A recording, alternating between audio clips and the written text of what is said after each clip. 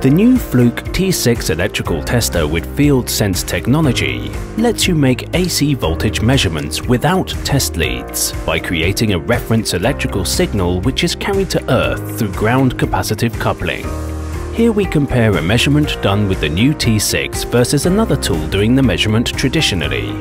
You can see that with the T6, you have significant fewer handlings and can do two measurements in one run in less than one third of the time.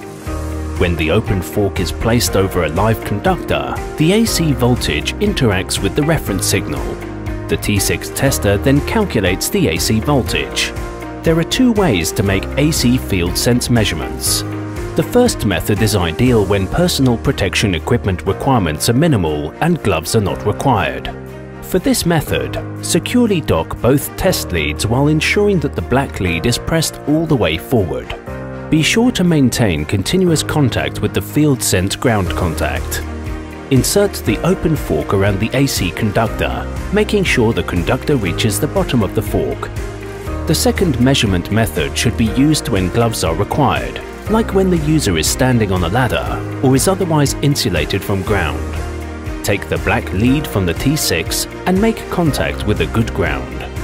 Slide the open fork over the conductor so it reaches the bottom of the fork.